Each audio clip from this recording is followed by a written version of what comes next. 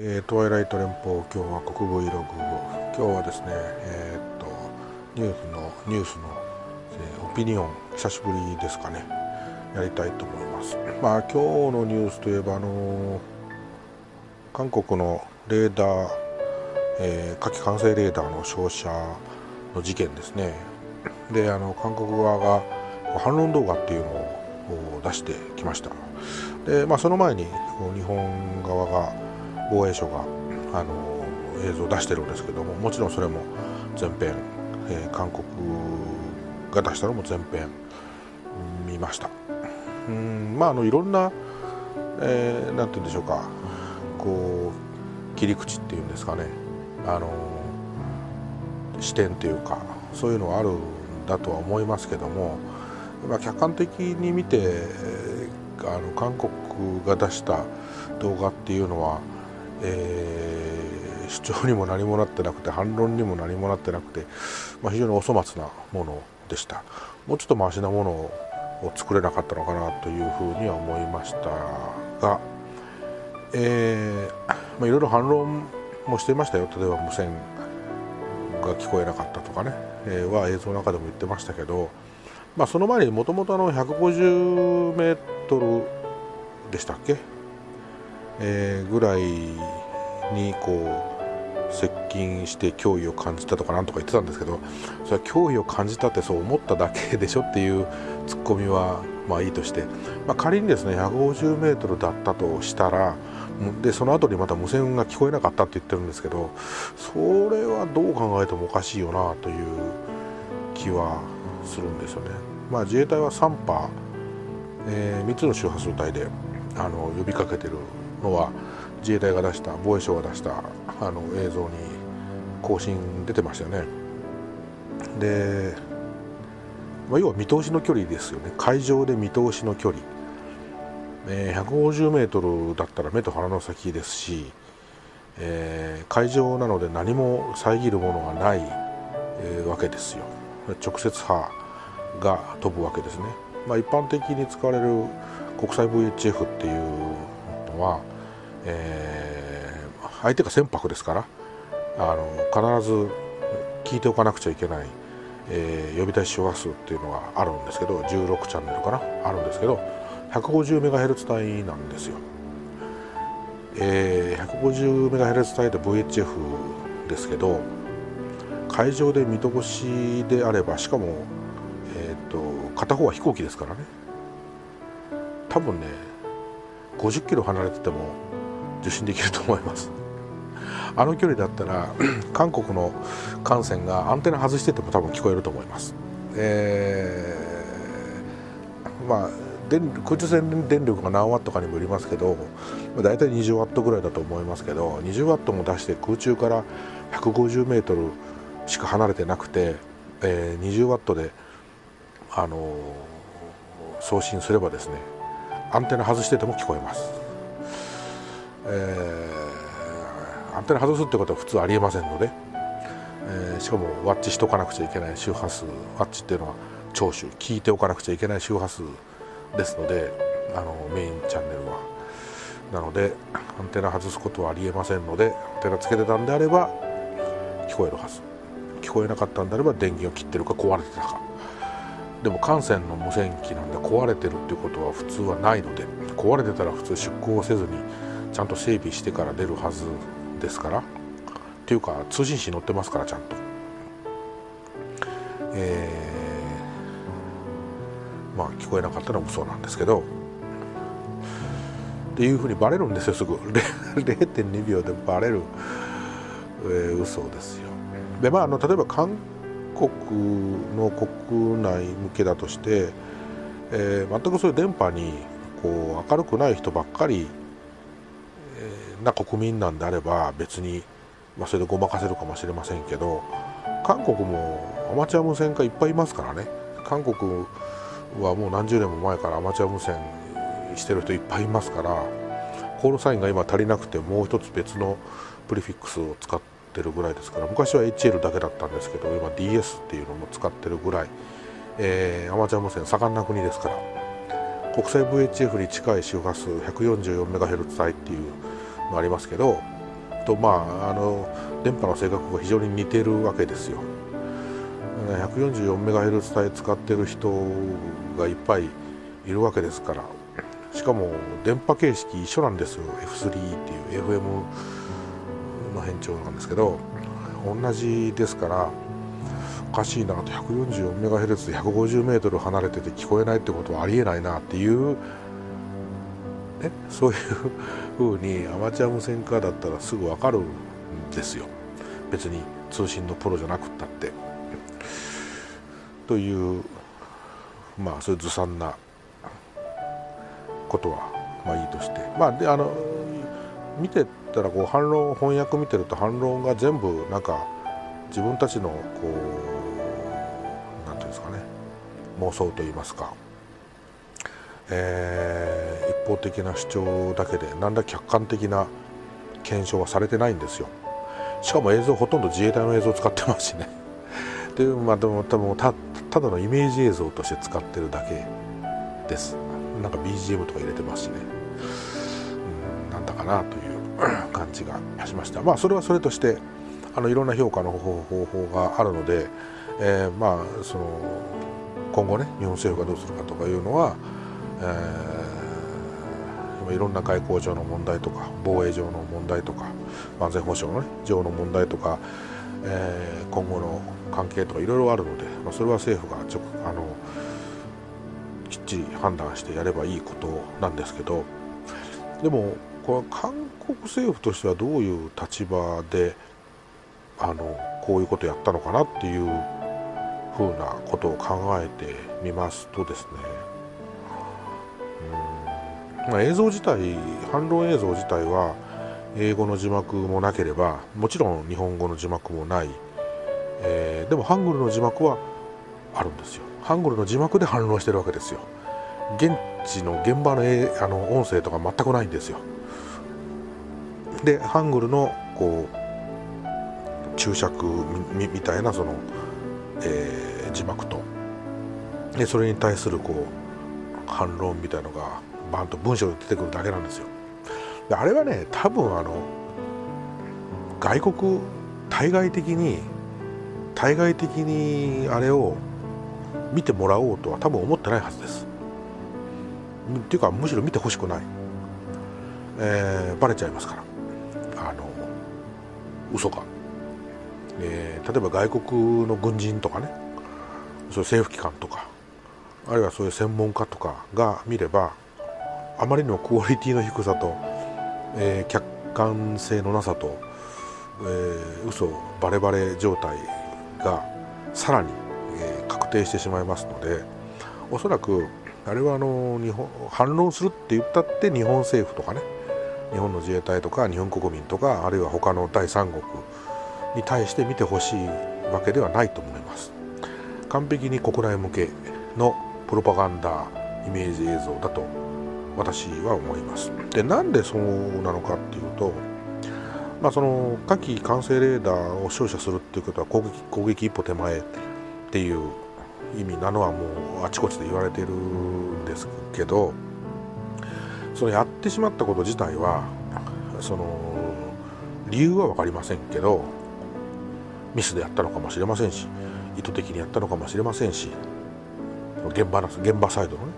現場サイドの意図意図的にやったのかもしれませんしあるいは国防省あるいは大統領あたりの上からの命令でやったのかもしれませんそれは分かりませんけどもいずれにしてもあのこれをやってしまえばその後どうなるかっていうのは考えれば分かるわけですよね。こう人の行動ってそうじゃないですか。何かする時にこれをやるとあとどうなるのかなっていうこうまあね将棋のプロ棋士ぐらいまで読めなくてもですねまあ2手3手先まで読めますよね。でそれに基づいてその行動がいいのかどうなのかっていうこう判断をして行動するわけじゃないですか。韓国っていう国は 昔からですね結構行き当たりばったりなところが多いんですよ。客観的に歴史的に、えー、行き当たりばったりなのとあと後先考えないケースっていうのが多いんですよでとりあえずやってしまったことはまあいい、まあ、よくないですけど、まあ、やってしまったことは事実なんでいいとしてやってしまえばどうなるかっていうことを考えなかったのが一つとやってしまった後に当然日本が抗議するわけですけどそれに対してどうせ嘘つくならですよ。どうせ嘘つくんであればあのすいませんちょっと現場の操作ミスでやってしまいました。申し訳ございません。って言えば済んだ話ですね。だってもともと敵対してる国じゃないですから。日本と中国とかね。アメリカとロシアとかだったらそういうわけにはいきませんけど日本と韓国ですから別にそもそも敵対してる感情的なものは別としてですよ。あの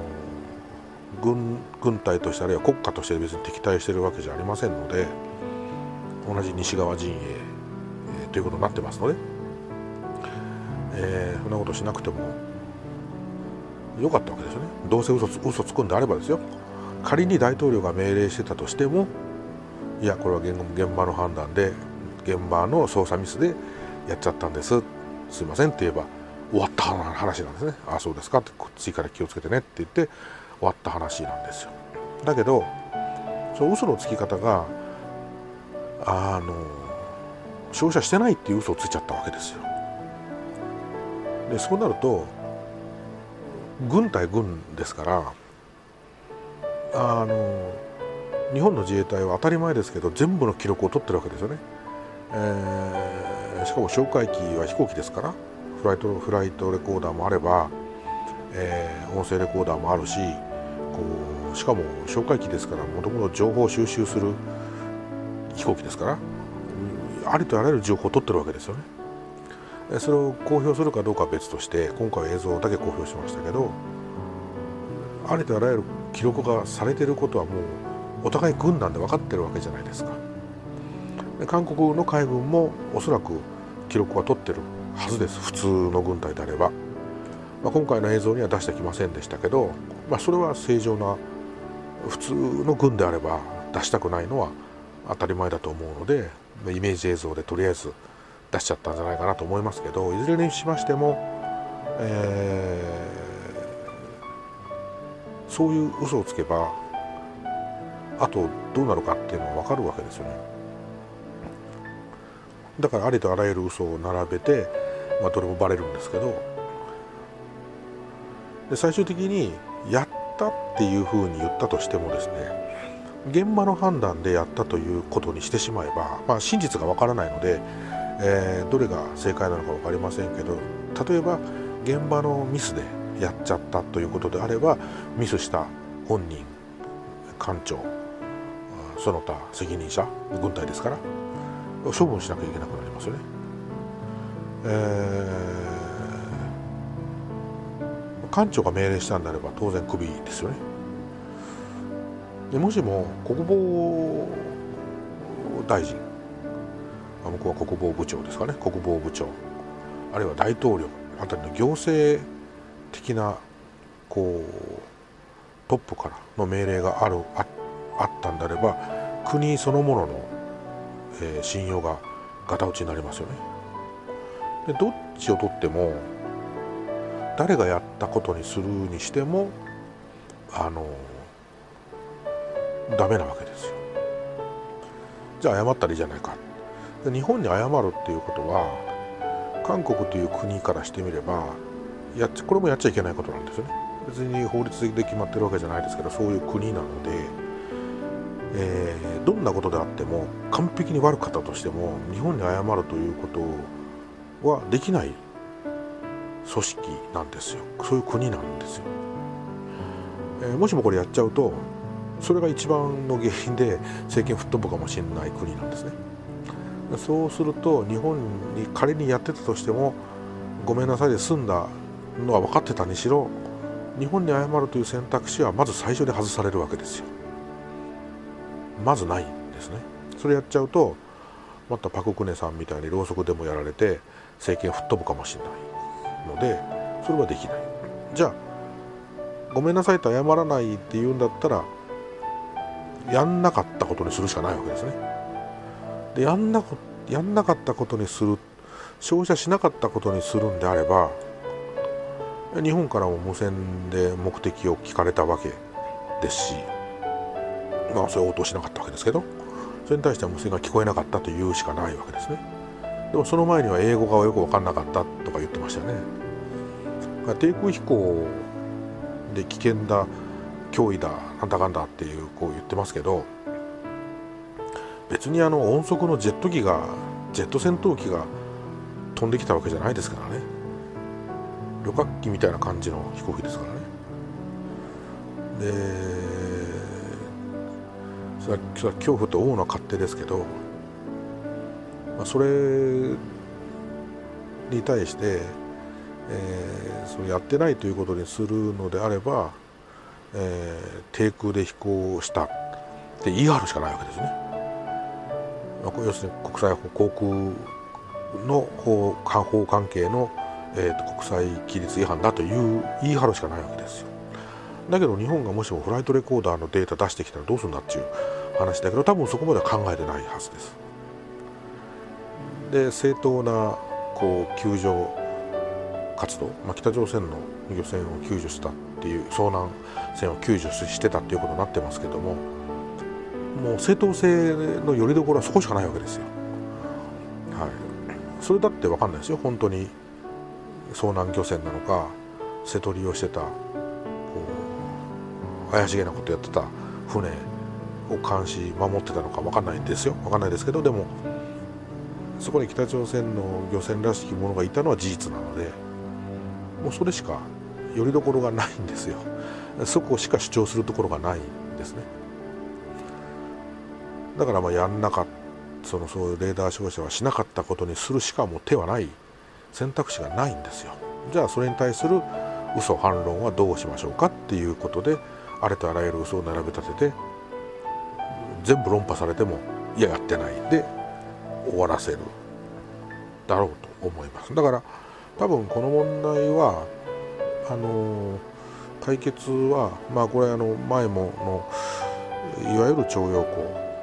労働、えー、募集工の話もそうですし慰安婦の問題もそうですし韓国との何らかの問題っていうのが基本的に、えっと、解決はしないものばっかりです。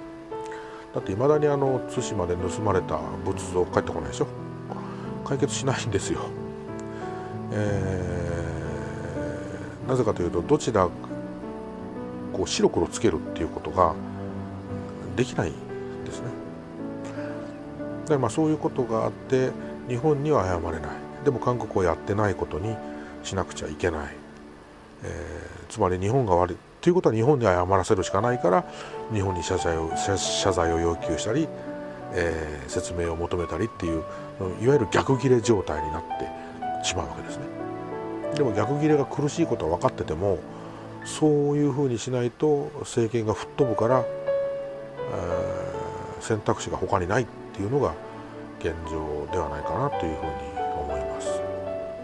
だ本当は外国には見てほしくないだろうし、えー、もちろん日本国民にも詳細に見てほしくはないだろうし、えー、多分あんなの見たら日本政府とかあと防衛省の関係者って多分呆れて物物も言えない開いた口が塞がらないとは思いますけどね。素人の私が見てもそうなんですから。だけどまあそれを、まあ、どうしたらいいかっていうのは政府が考えればいいんですけど基本的にはもうグーの音が出ないくらいに証拠をを集めて別にもうどうせ謝りませんから何をやっても絶対にもうここまで来たら認めませんので別に認めさせようっていうふうに思わなくてもいいと思うんですよただあの第三国がね周りの国がそれを見て、えー、あのジャッジをすればいいんですよ。あ韓国っていう国はこういう国なんだな、えー、というふうに多分勝手に判断すると思いますから多分それがあの決着日本政府にとっての決着で一番いいところ一番その、まあ、得点を稼ぎやすいところなんだろうと思います。韓国に謝らせるのは無理なのは多分政府も分かってると思うんですけどね。じゃなくてもうこの際だから徹底的に突きつけてムーロネも出ないようにしておいてその周りの近辺の国が勝手に判断してくれるジャッジをしてくれるということでいいんじゃないかと、まあ、そのためにはずっと日本政府もこう手を緩めることなくちゃんと証拠は証拠として、まあ、出せない部分もあると思うんですけどね軍事的な問題で。出せないこともあると思いますけども、えー、出せるところは出していくということでいいんじゃないかと思います。だから韓国もね当初あのなんか要求してたので何でしたっけ？レーダーのレーダー照射したんだったらその周波数の詳細なデータとかがあるはずだからそれを出せと。それがないとなんかあの証拠にならないとか言ってたんですね。で日本はそれ一応拒否したんですけどあれでも出してたら大変ですよ。出した瞬間に韓国のレーダー全部変えなきゃいけないですもんね。だって哨戒機ですから戦闘機じゃないのであの情報収集が目的みたいなもんですからね。それは詳細なデータ取ってますよ。それ周波数ここで、えー、そのレーダーのあの何て言うんでしょうか。パルスのねあの感覚はこんなんでとか強度はこんなんで音はこんなんでって全部出しちゃったらもう二度と韓国のレーダー使えなくなりますよね。全部入れ替えないと。パターンを変えないと、だって手の内全部ばらしちゃうわけでしょ？日本が。っていうかばらしてくれって言ったからばらしたわけでしょ。日本としてもさすがにそれをやっちゃうと韓国軍終わっちゃうなと。思う韓国海軍終わっちゃうなというふうに思ったからいやそれは出せませんって言って韓国海軍のことを思って言ったんだと思うんですけど、うん、まあ多分最後はそこでしょうね。それ出しちゃったらお宅の海軍のレーダー全部使えなくなりますけどそれでいいんですかって、えー、一応言っててから出すしかないでしょうね。出しますよって。いいんですね。って言って、えー、詳細なデータを出せばいい。まあ素人に分かんなくても別にいいんですよ。他の国の軍事関係者が分かれば。あのそれでいいんだと思います。そうすると少なくとも火器管制レーダーの、性能とか初言っていうかそういうのが全部丸裸になっちゃいますからね。全部付け替えなくちゃいけないんでその予算また取んなきゃいけないわけでしょ？さあそれを天秤にかけた時に韓国国民をとりあえず騙してなだめさせて納得させて反日の方に向かわせるのと実質やんなくてもいいレーダーの積み替えをして金を 金を、えー、ドボに捨てるのとどっちがいいのかなという気はしますけどまあだから何を取ってもどう取っても一番最初にあのすいません操作ミスでこうなっちゃいました。あの悪気はなかったんです。すいませんって謝らなかったからその代償は高くつくんじゃないかなというふうには思いますけどね。多分北朝鮮も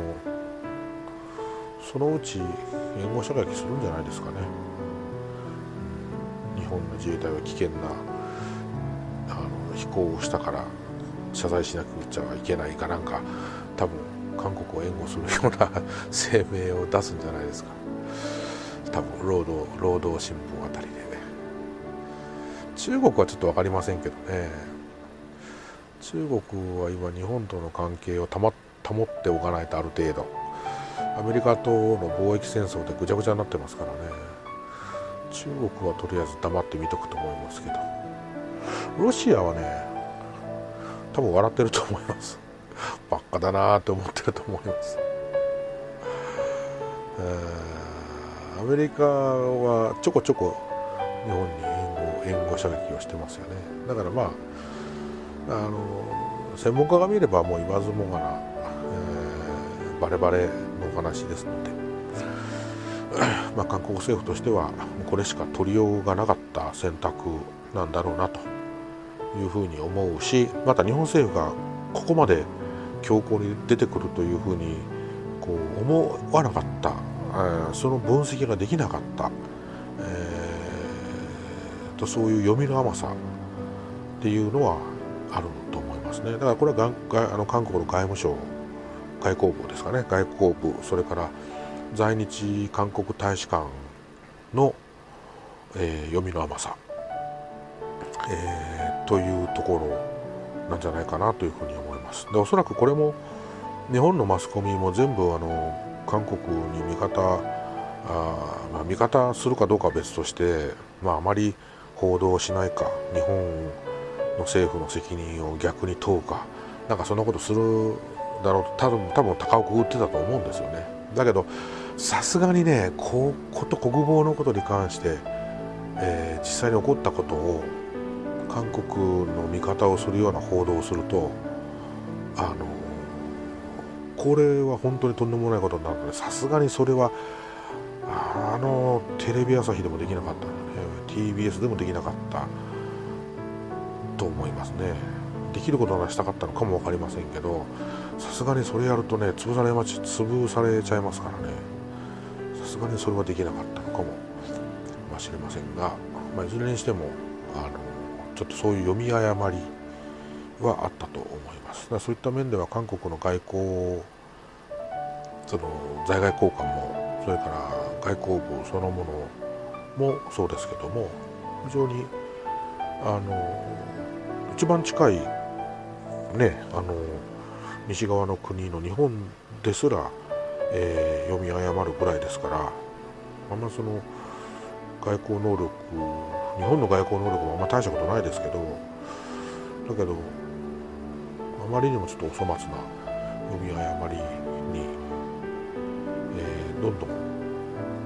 あり地獄にはまっていくような気がします。えー、あとはまあ正月休みが明ければ、えー、日本政府もまあなんかするんでしょうからまそれを見守っていきたいなというふうに思います。だからまあこれはだから韓国に対してうんぬん言ってももう最初から嘘なんですから。えー、嘘つきっていうねあの泥棒に待てって言っても待つわけないので、えー、最初から嘘ついてるんで謝罪しろとってそれはするわけがないです謝罪した途端に政権を吹っ飛びますから。そん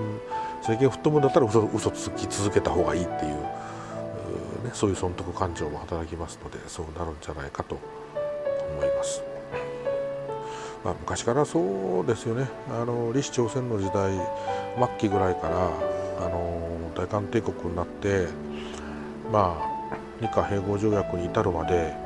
えー、似たようなことをずっとやってきて国際的な信用を失ってでその戦後もそれをほじくり返して別に慰安婦だけじゃないんですよ。もっと前からあるんですよ。そもそも日韓併合条約自体が無効だったとか言い出してですね。戦後にですよ。でそれを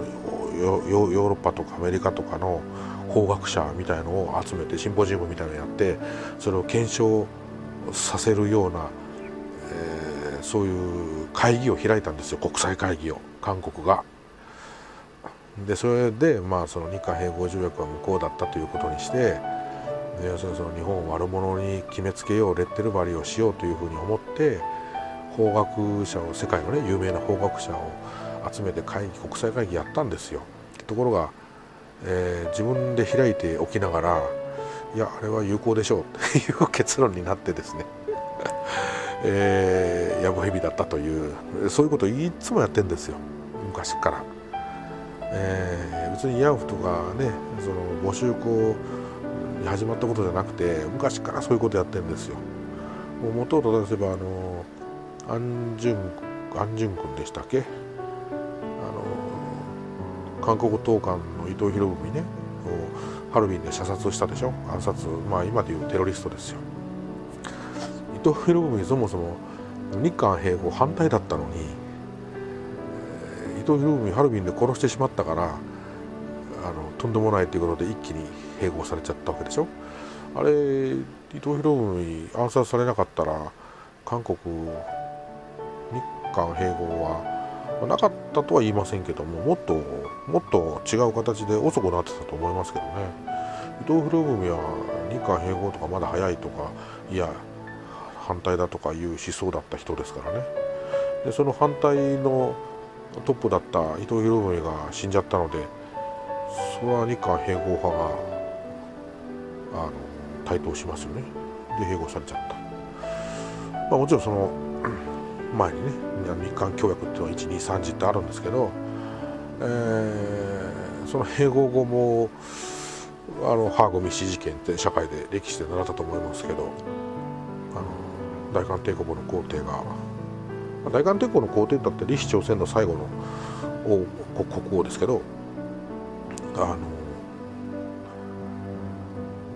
ハーグにね密使を送って日本のこうひどいことをあることないこと並べ立てて嘘つき呼ばわりして日本に加担しないようになんとか助けてくれっていう密使を送ったんですけどあの相手にされずに逆に日本に通報されちゃったというなんかこんなん来てますよっつってでその文章を全部見せられちゃったというで日本はそれに激怒して外交権を奪ったんですけどね。というふうに意外と自業自得でこう先を見通せずに、えー、向こう水でやってしまったことが結局自分に、まあ、今で言う流行り言葉でいうブーメランになって帰ってきてっていうパターンが非常に多いんですよ。だからまあそういう国ですのであのそういう選択しかできなかった、うん、大体誤った選択しかしないですよ。そういう重要な外交って。って昔から。なので今回も誤った選択をしてしまったなという気はいたします。ということで今日はオピニオンだけです。さすがにちょっとこのニュース今日大きかったんでねあの今までずっと見てきたんですけどあの、まあ、なんかなんとなくこう閉塞問題が閉塞しそうだったら、えー、んな話はしなくてもいいかなと思ったんですけどどうも閉塞しそうにないので、はい、ちょっと違った立場からあの韓国は嘘つきだって言おうと思えばいくらでもこう並べ立てて言うこともできたんですよけども、まあ、なんで韓国はこういうふうなことをあの反論動画非常にお粗末なね反論動画を出さなくてはいけないっていうところに至っちゃったのかと、まあ、いうことをちょっと考えて、えー、お話ししてみました。まあ、あの新聞とか、えー、ウェブニュースとかあるいはテレビのねニュースなんかをご覧になった上であのそのいきさつっていうのを、えー、スタートからよく理解した上で事実関係をね理解した上で、えー、聞いてもらえると、えー、なるほどなというふうに思っていただけるところももしかしたらあるかもしれません、まあ、あくまで私のオピニオンオピニオンなんであの別に取材して各方面に取材して喋ってるわけでもないですし、えー、単なる私のオピニオンなので、えー、共感するもしないも、えー、ご覧になってる方の、えー、自由ですのでまあ共感していただける方はあのなるほどなというふうに思っていただければよろしいかと思います。まあ、違うなと思った方はあのご自身なりの考えをお持ちいただければそれでいいんじゃないかというふうに思います。ということで今日はちょっとオピニオン珍しくオピニオンを、えお話ししました今日は以上です今日もご覧いただきましてありがとうございました